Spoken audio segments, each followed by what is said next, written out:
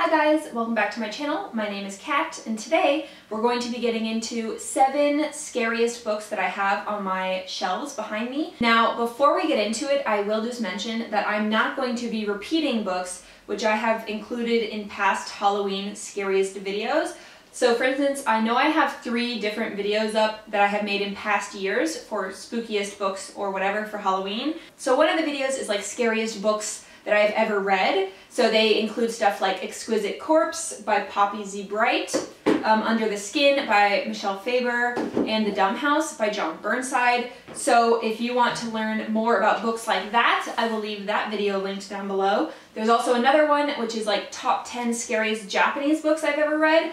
Um, and that has stuff like In the Miso Soup by Ryu Murakami, as well as Hotel Iris by Yoko Ogawa, and many more. And I will also leave that one linked down below. And then the third one that I believe I've done is top 10 scariest stories from Ray Bradbury specifically. So I'm diving into Ray Bradbury short story collections and picking out the 10 that I found the most horrifying. So um, if any of those recommendations sound cool to you, I will leave the links to those videos down below. But this video is going to be talking about seven books which I have read, I guess recently, like since I made those videos because I checked and these are not in those videos. So these are seven new scary books that I want to talk about with you guys. So without further ado, let's go ahead and jump in to the seven. So this is roughly in order of least scary to most scary, but like I said, all of them are kind of horror novels anyway, so just go into that knowing that, that they're all pretty scary probably. Um, so yeah, let's get into it. So the first one is by an author not many people know about or talk about. So this is To Feel Stuff by Andrea Siegel. In this one, we're following a university student who is at, um, I believe, Brown University's medical um, hospital where she is diagnosed with illness after illness and they cannot figure out what is wrong with her. Um, and when she basically lives there. So when a new patient comes in, I believe his leg is fractured, they strike up a friendship and things go from there. I did not see the twist coming and it is so good. So this is To Feel Stuff by Andrea Siegel. This is actually an old read of mine that I don't think I've ever mentioned before because when I went back to America in March and I went in my like childhood bedroom, I saw this on my shelf and I brought it back with me to Australia. So that's why I'm just introducing you guys to this now. Um, because yeah, this is an old fave of mine and it's really good. So next up is a thriller. This was given to me by my aunt um, who lives in America. She's a big contemporary thriller reader, so she sends me the best that she likes, and this is Behind Closed Doors by B.A. Paris. This is probably my favorite thriller before I started reading Jane Harper. Um, in this one, we are following a woman who is married to the perfect man. He is so romantic and so lovely to her and treats, spoils her horribly until they're married and they move in to the house together and she realizes that he is not as he appeared. And there are very dark things that happen in this novel. Um, trigger warning for animal abuse, mental abuse, physical assault, and I think also murder? I'm not sure. But uh, definitely check this out if you like thrillers, especially set in um, more contemporary feeling, like a suburban neighborhood. This would be for you. It's really creepy. Okay. And one that I picked up when I since I've been in Australia and that I read and really enjoyed was Burial Rites by Hannah Kent. This is documenting the last, the last execution that happened in Iceland and it's a reimagining of that woman's um, last few months of life and what she must have been thinking and feeling and who she met and what happened and why she was charged. And because you know she's executed in the end, this whole book is so gripping and sad and it just really gets you in the feels and it's so atmospheric very cold and creeping. Like the Icelandic weather is just relentless. So yeah, check it out if that sounds up all up your alley. Now we are getting to one of my favorite horror novels I have read probably of all time. Um, this is Let the Right One In. So maybe you guys have seen this. There are two movies out. Um, and I will leave links to the trailers of them down below. This is so good. It is longer. I don't usually read books that are this long. This is like over 500 pages, but it is so worth it. This has some of the best character study and like the best character arc and just the most righteous ending of all time.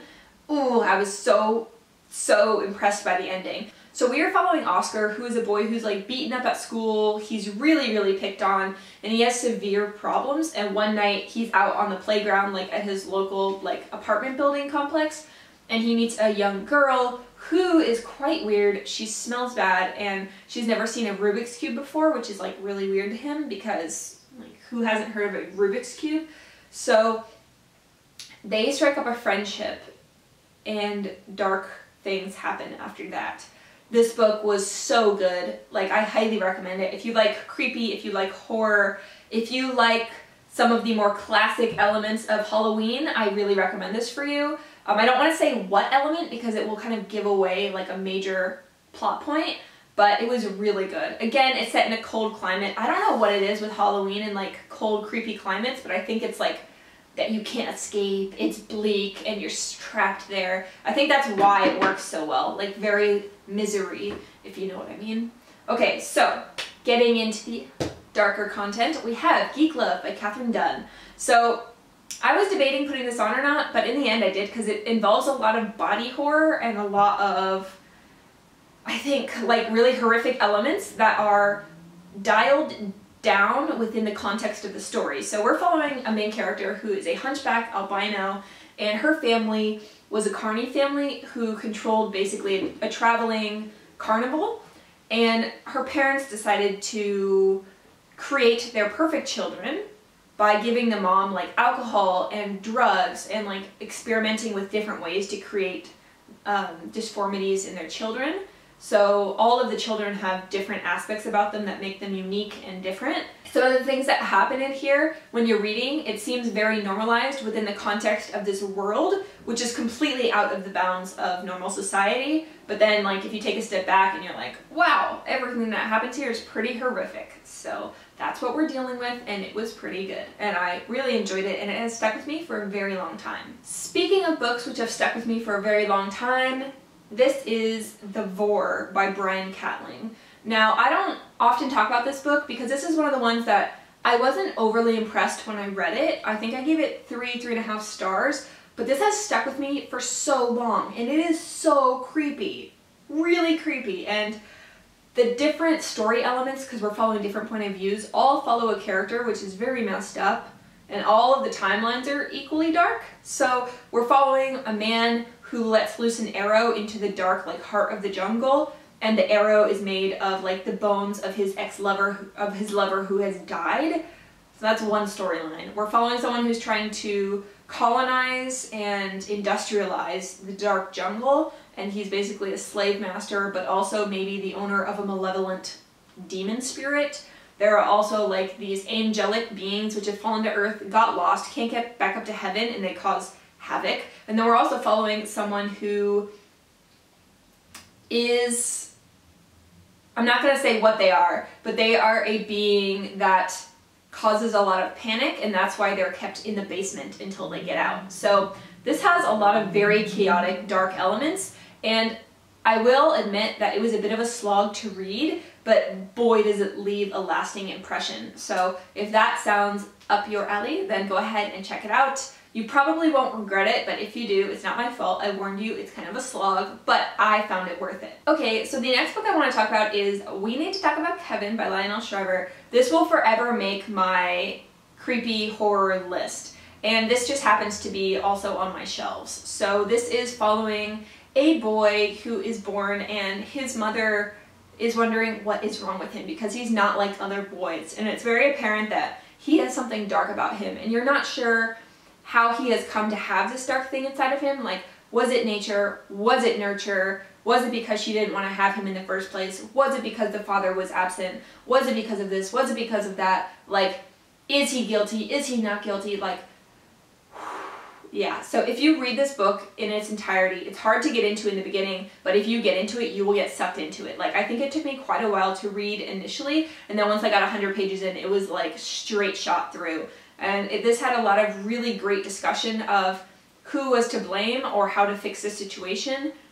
And it was so engrossing. So if you like any of the books where it's like evil child, then this is like kind of the classic, I would say. Um, I also really loved another book recently, but I don't have it on my shelves, so that's why it's not in this video. But um, yes, this is that. So um, I'm kind of cheating because I'm going to throw, these are the seven books that I mentioned, one, two, three, four, five, six, seven, but I'm also going to add one more book, which is eight. But this doesn't really count because it's not exactly on my shelves because it's a library book, but I have it right now at home, so I would be remiss not to mention it.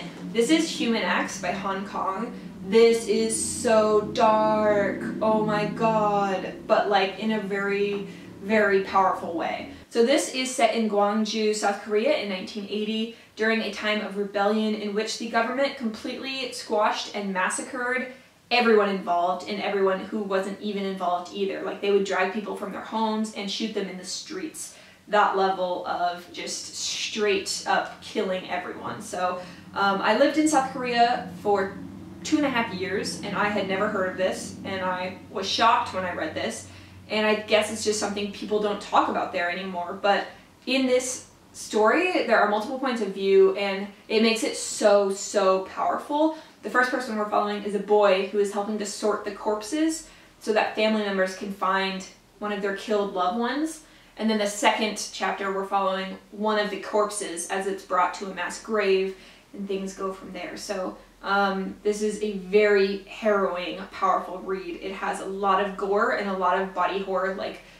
to the 11th degree. So if you don't have a strong stomach, don't read it at all. But if you can power through, it is so, so powerful, so dark. Definitely check it out.